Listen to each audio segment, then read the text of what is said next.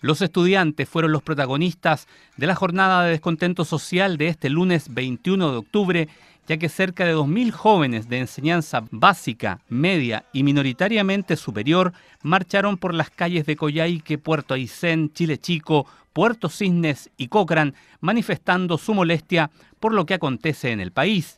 Con marchas pacíficas y condenando la presencia de militares en las calles, los estudiantes nuevamente demostraron que están muy en sintonía con la realidad nacional e indistintamente del problema que originó este estallido social, sus consignas dan cuenta de una absoluta consecuencia con los problemas ciudadanos que enfrenta Chile. Estamos todos reunidos aquí para representar como región todos los alumnos para ayudar a toda la gente en Santiago, a todo Chile que está protestando por el abuso de poder, por el abuso del gobierno.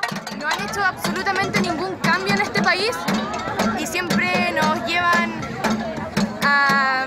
Todo se basa en dinero, básicamente. Nos suben los impuestos, nos suben el agua, la luz. Todo eso nos afecta como pueblo y eso está mal porque nosotros somos los que Chile, no solamente el gobierno.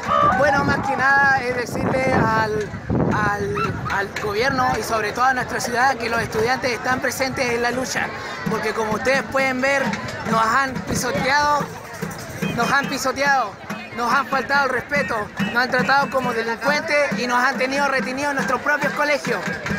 Hoy día, si tú tuvieras que hacerle un llamado a la sociedad, a la comunidad, tú mismo me imagino has visto destrozos, has visto vandalismo, ¿cuál sería tu posición hoy día como estudiante con respecto a esto?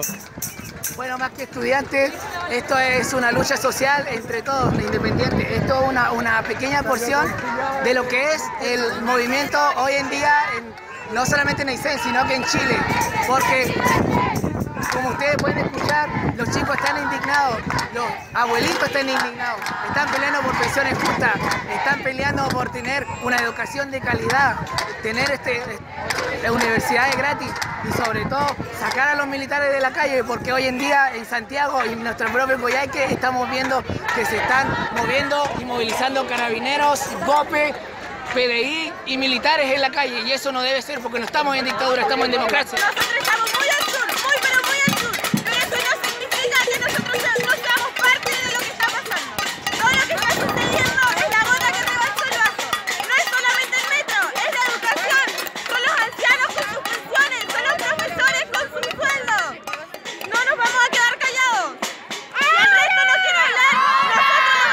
Pero también la comunidad se manifestó sobre esta crisis social, saliendo a las calles a exigir equidad, dignidad y libertad. En Puerto Aysén, el Paseo Mahuen fue el epicentro del descontento ciudadano, donde Jessica Ferrada y Vicente Zúñiga se refirieron al momento de tensión que enfrenta el país. Yo estoy acá más, más por los problemas que tenemos como la comuna de Aysén, el tema de la economía, ¿cierto?